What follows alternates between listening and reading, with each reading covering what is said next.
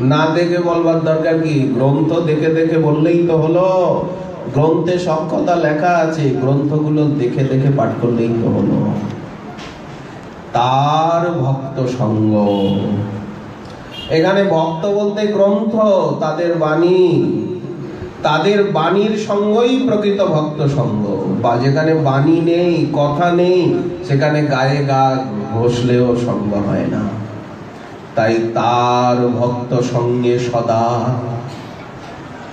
ভক্ত সঙ্গে কি হবে? এই মহাবিষ্ণুর নিঃশ্বাসের থেকে ব্রহ্মাণ্ডগুলো কীভাবে বেরিয়ে গেল? আবার ভিতরে ঢুকলো অনন্তদেব কীরকম, কত বড় লম্বা চওড়া, মাথার উপরে কীরকম ভাবে ব্রহ্মাণ্ডটা ধরেছে। তারপরে বলেন খিতি অব তেজ, মরুদ, বম, অহংকার, তত্ত্ব, অমুক তত্ত্ব, তমুক তত্ত্ব, খালি লেবু চটকানো বলেন, এই লেবুর রস কতবার লেবুটা চটকাবেন? বেশি চটকালে লোকে বলে না যেতে তো লাগে? তার ভক্ত সঙ্গে সদা প্রেম লীলা রসকথা। তত্ত্বকথা তো আছেই, তত্ত্বকথা তো ভূমি। ভিত্তি, তত্ত্বকথার থেকেও শ্রেষ্ঠ কি? লীলা কথা। তার ভক্ত সঙ্গে সদা সুখদেব ব্রহ্মানন্দী। কিন্তু যে দুটো শ্লোক শুনলেন বরহা নটবর বাবু এটা লীলা কথা। সৌন্দর্যের বর্ণনা, মাধুর্যের অহোবকীজং স্তনকাল কুটম এটা লীলা কথা, কৃপার কথা। খালি কৃতি অক্তেজ মরুদ্ভ অহংকার তত্ত্ব মহত্তত্ত্ব অনু পরমাণু ত্রসর এনু দনু। এগুলো দিয়ে কি হবে? পিন্ডি চটকে। তার ভক্ত সঙ্গে সদা প্রেম লীলা রস কথা লীলা কথা শুনতে হবে। লীলা শুনতে হবে পতিত পাবনী লীলা। যে কহে, যে শোনে, সে পায় ঘনশ্যাম রাধারানীর ভক্তের সঙ্গে যারা রাধা মাধবের লীলা কথা বর্ণন করেন এবং কীর্তন করেন, সেই জন পায় ঘনশ্যাম। সেই তো রাধা বল্লভকে পায় রাধা মাধবকে পায় অন্য কি পায়। রাধারানীর কথা না বললে কি রাধারানীকে পাওয়া যায়? বল্লভের কথা না বললে কি বল্লভকে পাওয়া যায়? এই তো তাকে পাওয়ার উপায়। যে কহে, সে পায় ঘনশ্যাম। আর ইহাতে বিমুখ যেই, যে ব্যক্তি এতে বিমুখ রাধা বল্লভের কথা বলে না, শোনে না, বললেন, ইহাতে বিমুখ যে তার কবু সিদ্ধি নাই। আমি নাহি যেন শুনি তার নাম। তার নামটা যেন কানে না যায়।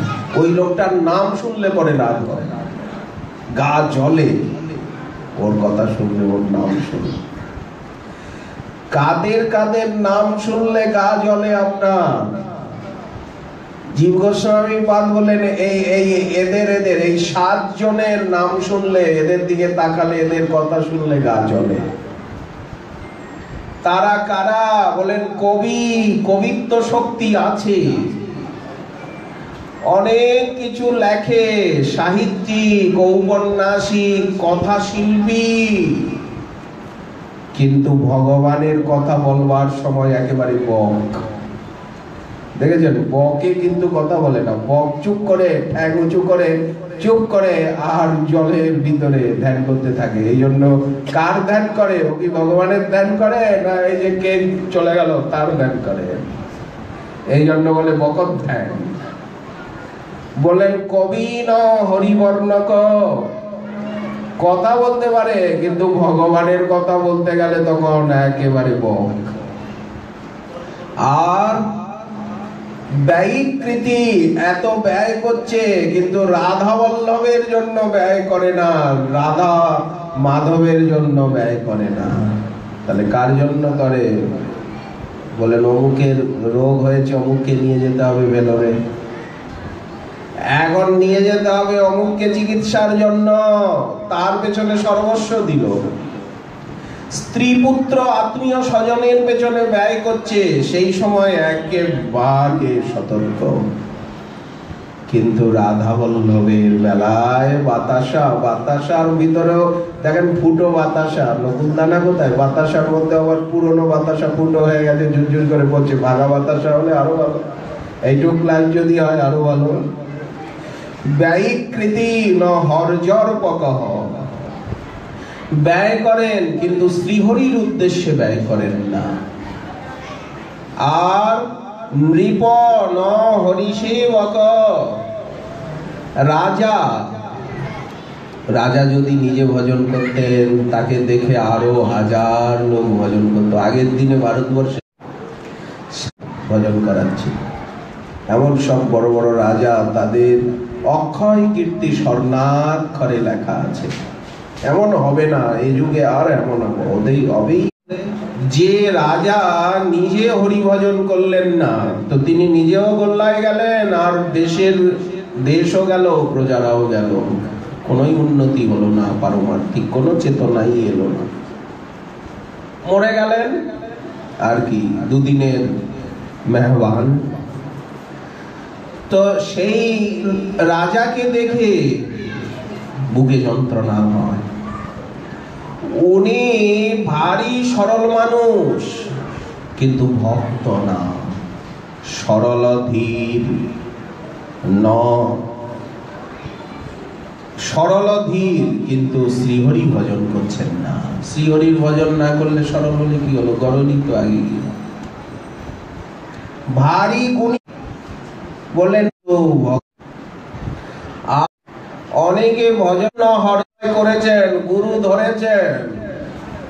কিন্তু গুরুদেবের কাছের থেকে আমারই যত পারো পারো পারো। গুরু গুরুদেব বলেন, এই গুরুদেব কি শেখাবেন? সাধন শেখাবেন এই গুরু শ্রী বৃন্দাবন উপদেশ আশ্রিত হলেন, কিন্তু শ্রীহরির শিষ্যদের দেখলেও আমার তো গুরুদেব আছে বলে একটা ছাপ শুধু লাগিয়েছে। বলছেন যে এই কৃষ্ণ ভজন হারানি সচল, ব্রজপুর কৃষ্ণ ভজন করছেন অনেকে।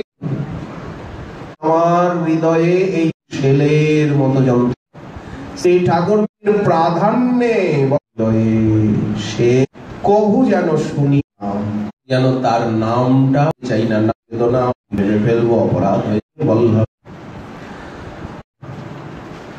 তো আমরা এই আত্মচেতনা, এটা আত্মচেতনার ভজ শোনায়।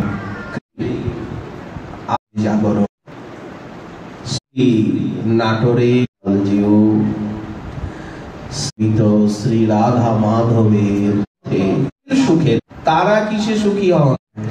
কথা বলে, আপনি হয়তো লজ্জা পেয়ে আশা করছে, আমার আমাদের। কেউ যদি একটু ছাড়, দুঃখ হয় তো আমরা রাধা বল্লভ রাধা মাধবের এবং আপনাদের সেবার নিমিত্ত।